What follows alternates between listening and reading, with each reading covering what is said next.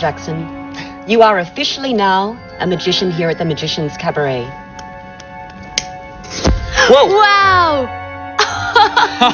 that is insane. Congratulations, Jackson. I'm so happy we could make your childhood dreams come true.